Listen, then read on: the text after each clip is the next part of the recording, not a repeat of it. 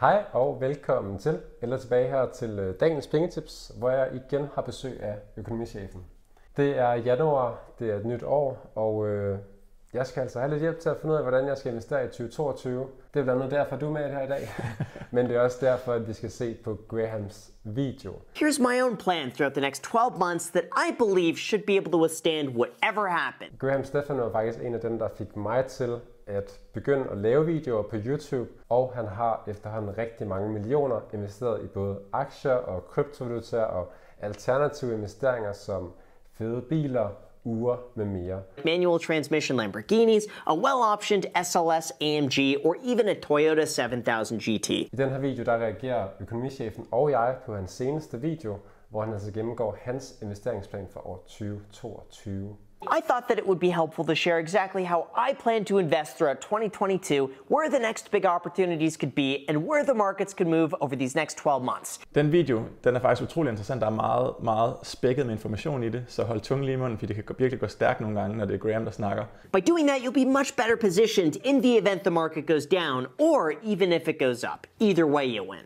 Men der er virkelig meget god viden at hente også ud over inspirationen. The best thing that you could do is ignore the noise and keep buying as usual. Og han har lavet en meget markant ændring i sin investeringsstrategi siden sidste år. You can invest in cryptocurrency as a part of a responsible, well-diversified portfolio. Vi har også lavet en lignende video over på Økonomichefen, hvor vi reagerer på Andre Jik, en af de andre store finans-YouTubers, ja. og hans investeringsstrategi. Så sørg for at give den her video et like, og hop altså over på Økonomichefens kanal, hvor vi også reagerer på Andrew Dicks investeringsplan. Der er link her under videoen. And when the crash is finally going to come down, my honest answer 1000 dollars om dagen indtil videre. Okay. Må det bare er en thumbnail, eller må det er det, han investerer? Jeg vil egentlig tro, han investerer flere penge. Det tænker jeg også, fordi 365.000 Dollars. på et år. Det er ikke så meget, hvis man tjener 5 millioner dollars på YouTube. Præcis. Lad os prøve at se, hvad han investerer i. Om der er noget, vi kan lære fra det. What's up, guys? It's Graham here. So, for a lot of us, 2022 is probably going to be one of the most confusing years of investing. After all, with interest rates beginning to increase, there's the concern that stocks might begin to decline. Real estate investing is an option, but home price growth has begun to decelerate now that the Fed is tapering their mortgage bond buying. And with the stock market, yeah, it's easy to buy in, but how could you be sure it's the right time, especially when the market's already up 45% in the last two years? Well, given all of that uncertainty, I thought that it would be helpful to share exactly how I plan to invest throughout 2022, where the next big opportunities could be, and where the markets could move over these next 12 months. Into Shiba Elon. Just kidding. Although, real talk, before we start, I want to sincerely thank everybody who subscribes, hits the like button, or comments down below for the YouTube algorithm. It helps out the entire channel tremendously. Jeg tror, billedet, det var hans editor, Ja, der ja, skrev skal, den der ja. kommentar. Så det er editoren, han har siddet på YouTube og editeret den ind. Men hold op, han snakker hurtigt i forhold til Andre. Ja, der det er gør fart på. Det går virkelig stærkt. Ja. All right, so what makes this year so interesting is that we're dealing with some rather unprecedented headwinds that haven't exactly existed before now. Of course, sure, in the past, we've seen excess inflation and stagnation throughout the 1970s. We've seen a sudden interest rate spike in the 1980s that caused a brief stock market sell off, and we've seen what happens during a prolonged shutdown in 2020. But now it's come time that we have to deal with the repercussions of consistently putting off the inevitable. And that would be removing stimulus, raising rates, and preventing consumer prices from rising even higher. That added this really confusing layer on top of everything else because even though the last two years have heavily favored the investor, things just don't move up consistently without a few bumps along the way. So given how we're near record highs, while the market begins to panic on the whims of interest rates, here's my own plan throughout the next 12 months that I believe should be able to withstand whatever happens. So Jeg synes jo, det er en rigtig god pointe, han siger det med, at markederne er steget virkelig, virkelig meget mere, end de sådan historisk set er gjort i gennemsnit, hvor det jo plejer at være de her omkring 7% per år. Så siger han, det er 47% på to år. Og så giver det jo også meget god mening, at sådan noget kan jo ikke blive ved.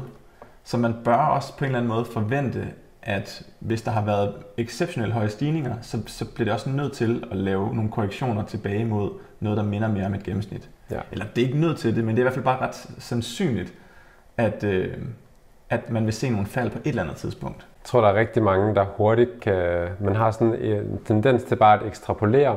Altså sådan, i sit hoved, så tænker man, at den udvikling, der har været, vil fortsætte. Ja. Men det er meget usandsynligt, når den udvikling har været så langt væk fra det, man normalt ser. Så det er i hvert fald også noget, jeg tit oplever ved investorer, der er sådan, okay, nu øh, for eksempel noget nordisk, nu er den steget med 50 procent, og så kan det være, at den lige falder 10%, og så går folk i panik, men den er stadigvæk ja. steget helt vildt meget. Og sådan er det bare generelt på aktiemarkedet. Når noget er steget meget, også det generelle marked, jamen så vil der også være nogle tilbagegange. Det er en helt naturlig del af det. Så du kan jo prøve at spørge dig selv, hvad vil du helst have? Vil du helst have 10 øh, kroner gratis hvert eneste år resten af dit liv? Eller vil du hellere have 100 kroner hvert andet år gratis, og så minus 50 kroner hvert andet år gratis? Du kan tænke over, Skal du svare i kommentarfeltet. Hvad vil du helst, og så skriv det hernede.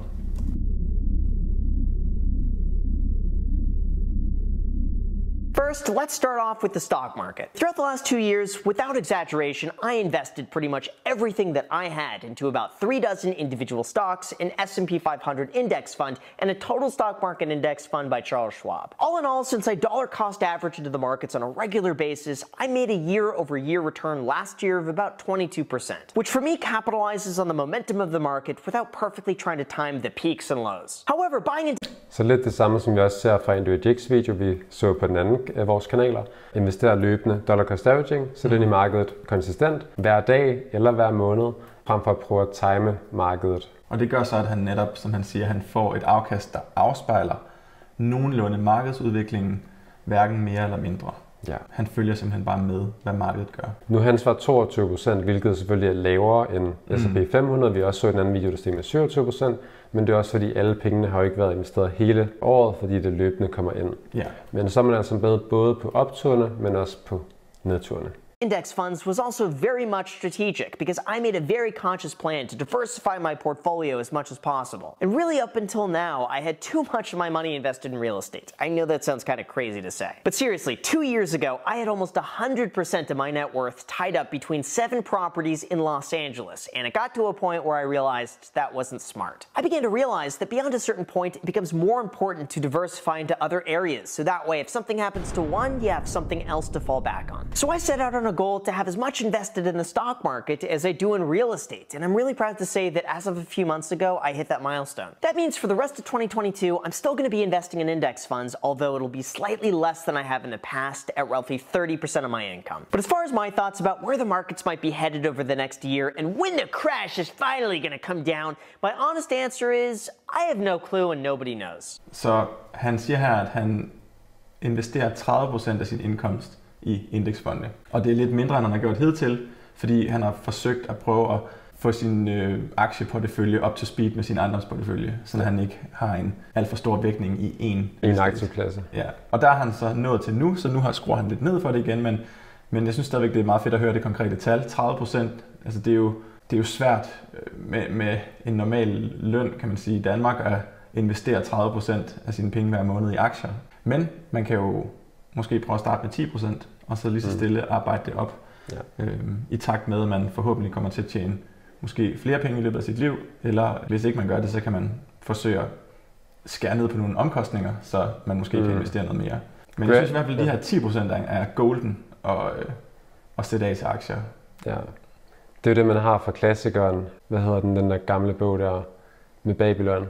No, The Richest Man in Babylon. Ja, lige præcis. Han sagde, at mindst 10% skulle man betale til sig selv, hver måned. Så ligesom en, betale sig selv først, mm. sæt af, det er et rigtig godt sted at starte. Og så jo flere penge du tjener, jo mere vil du også procentmæssigt kunne sætte af, så frem din forbrug ikke øges tilsvarende selvfølgelig. It's still unclear how much the Fed is going to be tapering their stimulus, when interest rates will increase, how the markets will react, and if supply chains will begin easing up. There's so many variables that could change on a daily basis, and giving any sort of accurate answer is really just a guess at best. It'll keep going up until you've invested all of your money, and then it'll keep going higher, or it'll keep dropping until you've run out of anything to invest, and then it'll drop even further. So given that, as long as you have an investment time frame of at least 10 years, the best thing that you could do is ignore the noise and keep buying as usual. The truth is, sometimes the simplest approach is also the most effective, and in this case, a 20-year holding period has never once produced a negative result. Although let's rewind for a second, because you might have... Så det, han lige viser her, fordi det går også meget hurtigt, mm.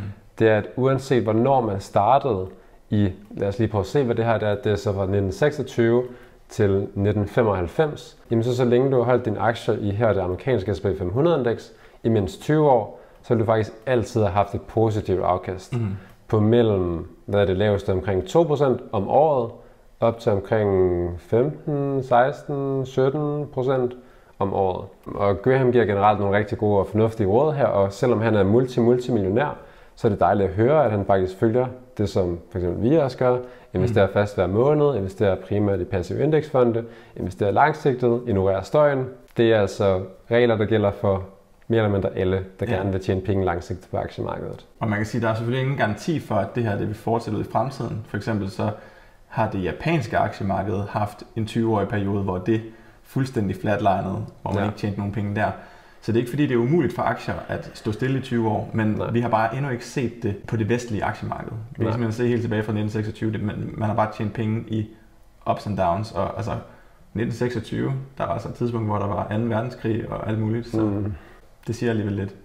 Although let's rewind for a second, because you might have already noticed that I'm only investing 30% of my money in index funds this year. So where's the rest of it going, you might ask? And that would be real estate. See, like I mentioned, prior to 2020, real estate was pretty much my only investment. I would work full time as a real estate agent, save my commissions, and then after months or even years of searching, I'd buy a worn down property, fix it up, and eventually rent it out. This is how I was able to accumulate seven properties throughout Los Angeles over 10 years. And even though it was a lot of work, I really enjoyed it. However, after a certain point, I realized it wasn't smart to be 100% invested in one asset class in one location. So for that reason, I made the conscious effort to divert my attention into other areas until I was properly diversified. And now that I've hit that milestone, I'm planning to go back into real estate where I could allocate about 50% of my money. Now, on the surface, it seems almost unanimous among experts that how Så indtil videre 30% i aktier og 50% i ejendommen.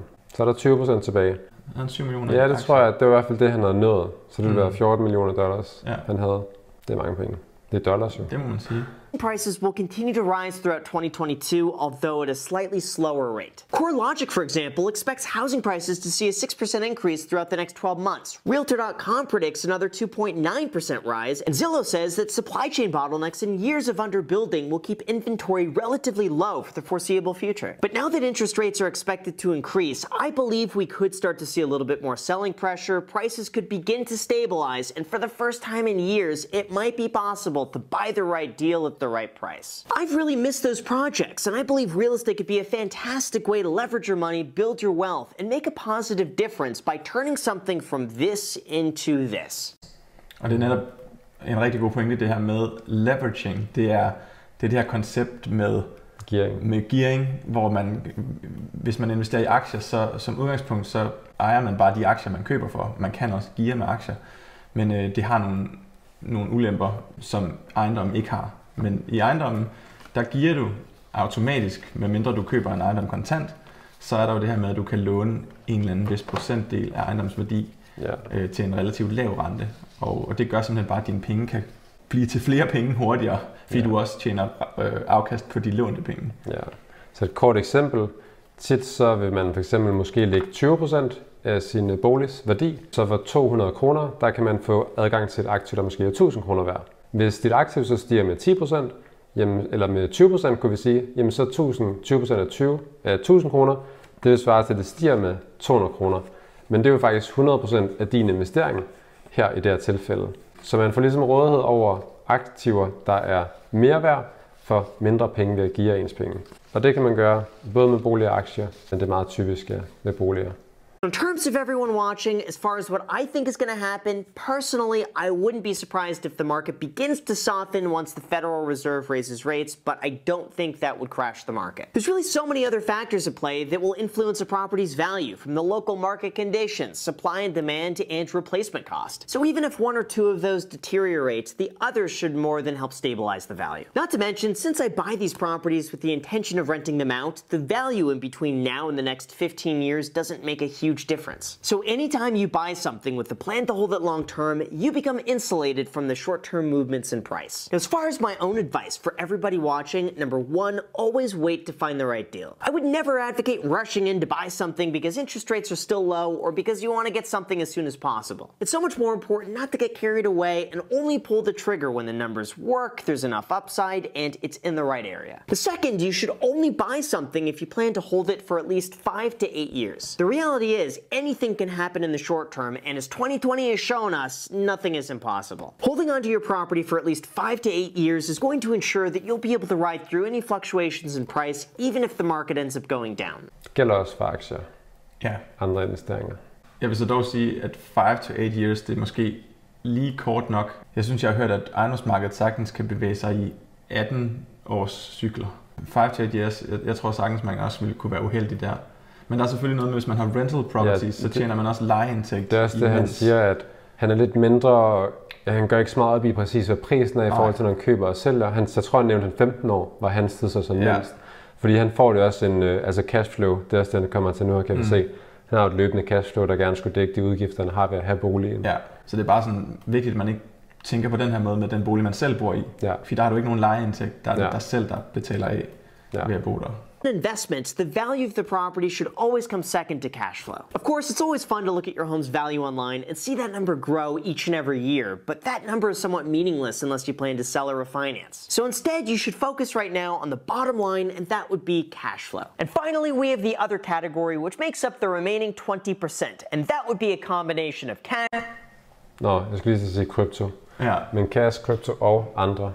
Cryptocurrency, and other random collectibles that somehow have managed to outperform the S&P 500. But listen, before we go into that for a while now, all right, so in terms of my other investments, let's start off with cryptocurrency at 8%. As some of you know, Men jeg tror det egentlig, han har et alternativ investeringer, så der er krypto.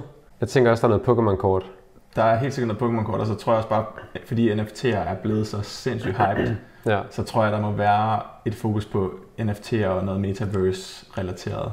Og måske kunne det også være noget bil. Han har jo en Ford GT, mm. kan man se, det holder i baggrunden. Han har Ja. også tidligere købt flere Lotus'er. Ja. Øhm, og jeg ved, at han har snakket meget omkring, at han elsker biler. Det kan også være, at han skulle købe en eller anden klassisk. Jeg så faktisk sådan en, en graf. Det er noget med, brugte biler var steget 37 procent Ja, det seneste år, ja, hvilket outperformer S&P 500. ja, Øhm, så det er jo helt vildt. Det var jeg meget chokeret over. ja. det er vildt. Beginning of 2021, I made the choice to allocate 1% of my entire portfolio into a 60-40 split between Bitcoin and Ethereum. And I have to say, the more I researched and learned about cryptocurrency, the more comfortable I felt increasing that amount over time. Like throughout the last year, I've been buying both Bitcoin and Ethereum on a consistent basis, regardless of where it trades, and as a result, my allocation has increased. For instance, what started off as 1% quickly became 2%, which became 3, which became 5, and then 6, and now my goal is to have 8% cryptocurrency by the end of the year split evenly between Bitcoin and Ethereum. Not to mention, what I found very interesting is that studies show that you don't have to hold a large amount of Bitcoin in your portfolio to see a positive difference. In fact, Fidelity found that just a 5% allocation to Bitcoin would have boosted the cumulative return of a traditional portfolio by 65% since 2014, even despite the sell offs along the way. On top of that, a New York investment firm even posted their findings that their best performing portfolio contained 3% Bitcoin, and that boosted their account's value by 50%. So when it comes to this, it's very evident that a little bit goes a long way. That's why I've taken the stance that you can invest in cryptocurrency as a part of a responsible, well diversified portfolio. But only invest a small amount relative to the rest of your account, stick with the largest cryptocurrencies out there that have a proven track record, only buy with the intention of holding long term, and that should give you the best chance at making money. Next, we have cash. Jeg synes, han giver nogle gode tips generelt. Mm. Også bare lige kort, krypto ser meget mere volatilt, og svinger meget med værdi, har meget højere risiko end, øh, end aktier. Jeg tror også selv, jeg har cirka mellem 6-8% i krypto. Jeg vil helt sikkert ikke have det over 10. Ja, jeg vil sige, det, det er jo meget forskelligt, afhængigt af hvilken linse man ser det igennem, fordi der er også, man kan sige, der er også argumenter for, at bitcoin kan være et alternativ til guld, mm. og på den måde, så kan man måske argumentere for, at det sagtens kan give mening at have mere end de her 8% i bitcoin, fordi aktiemarkedet netop kan risikere at blive trukket væk fra sine fundamentaler. Altså hvis, hvis der bliver puttet for mange penge ind i aktier, fordi folk ikke ellers ved, hvad de skal gøre med deres penge, så bliver aktiepriserne måske irrationelt høje i forhold til, hvor meget virksomheden egentlig tjener. Så jeg synes i hvert fald ikke, at det er helt simpelt at give et konkret tal. Jeg tror mere, man skal finde ud af sig selv, hvor, hvad man er komfortabel med, fordi man skal nok forvente, at den del, man har allokeret i krypto, den kommer til at svinge rigtig meget. Mm. Så derfor øh, skal man nok vælge en procentdel, hvor man, hvor man har det fint med at se det falde måske 50% på en måned. Det, det har vi jo basically set ske Ja. her for nyligt med bitcoin. Så det er træls, hvis man har 80% af sin portefølje i krypto. Ja. At se sådan nogle tal. Så vil den jo så falde med 40%, hvor hvis du har 10% i krypto, så vil det så være 5% i fald. To me, this is really a safety net in case something were to happen, you need cash immediately, and you can't call JG Wentworth 877 cash now. 877 cash now. Those commercials are way too catchy. Anyway, I've always kept enough cash on hand to be able to cover one to two years of living expenses, provide a big enough buffer in the event an opportunity were to come up, and of course to pay for taxes because that's not automatically deducted. Now for me, I try not to keep too much cash on hand because otherwise that would be a wasted opportunity, but there is also something to be said about the peace of mind it gives me just to be able to have a little bit of extra cash on hand. So even though I don't optimize this one perfectly, it does have a psychological impact to be able to have something to fall back on just in case. Jeg vil sige, en til to år, det er måske lidt voldsomt for de fleste ja. at have så meget. Øhm. Især i Danmark med det system, vi har her. Ja, man skal huske, at han investerer også i ejendommen, og der er også en værdi at have nogle kapital klar til at slå til, som han siger, når, når mm. den rigtige deal er der, ja. så, øh, så det er godt at have nogle penge fri til at gøre det med. Og som han også siger, han skal betale skat, og med de her indtægter, han arbejder med, så ville det være træls hele tiden at skulle sælge ud af sine investeringer for at kunne betale skat. Der er det lidt smartere at have penge nok eller kontanter nok til at kunne foretage alle skattebetalingerne uden at skulle til at spekulere i, hvad der lige skal sælges. Ja. Also leaves me with the opportunity to invest in startups, which is something I've really enjoyed doing over the last two years. To date, I've invested in eight companies, including two that I've done with partners, including bankrollcoffee.com and the Hungry Bull app that I'll link down below in the description. That's meant to be a daily newsletter where you could track all of your favorite stocks, see all earnings reports in one place, and over time we plan to build it. Han er sådan ved at blive sin egen løvens hule også. ja, lige præcis. Even further, so if you want to be a part of it, the link is down below in the description. I've Tror du, han er interesseret i at investere i discgolf? Du kan prøve at skrive en kommentar.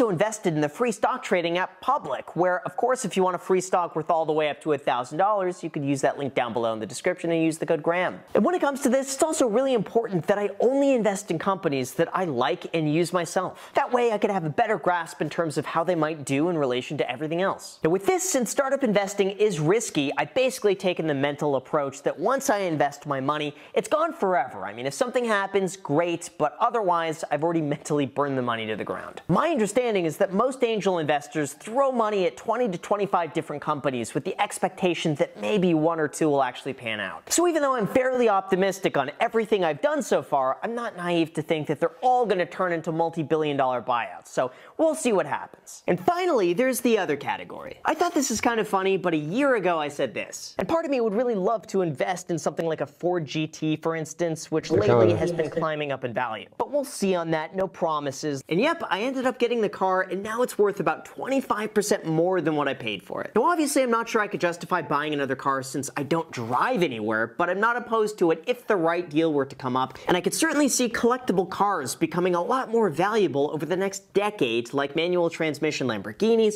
a well-optioned SLS AMG, or even a Toyota 7000 GT.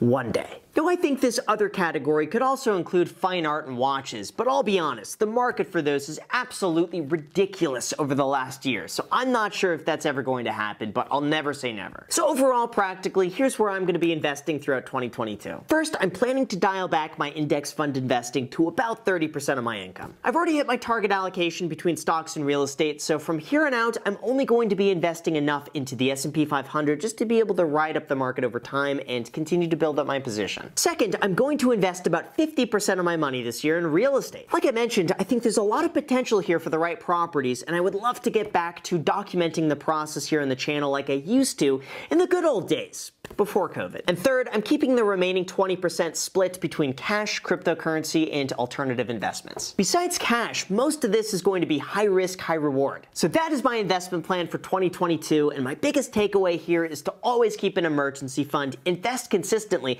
and diversify your investments so that you're not just dependent on one asset at one time. By doing that, you'll be much better positioned in the event the market goes down, or even if it goes up. Either way, you win. And most importantly, do not panic sell even if the markets continue to go down like they somewhat have been. Study after study shows that the people who do the best have the patience just to keep buying and hodling and subscribing if you haven't done that already. Ja, så lidt mere konkret end Andres, må man sige, med, Meget mere konkret. med de her opdelinger. Nogle ting, du blev overrasket over?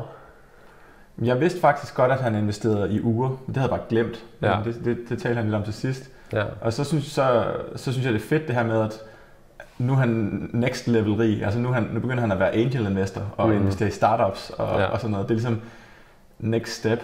Det, det jeg måske er lidt overrasket over, det er fordelingen, for jeg synes, jeg synes det at allokere 20% til cash og alternative investments, det synes jeg er sindssygt meget. Ja, men der var jo så også 8% krypto. Det, det, det er Eller sådan, det er han vil have 8% i krypto i hvert fald, så en stor del af det er krypto. Ja, så det er egentlig kun 12%, der er fordelt ud over de der ja. ekstra ting ja. og, og kontanter. Ja, det er måske egentlig, det giver måske egentlig meget fin mening. Men det er stadigvæk mange penge for ham i forhold til hans indkomst. Ja.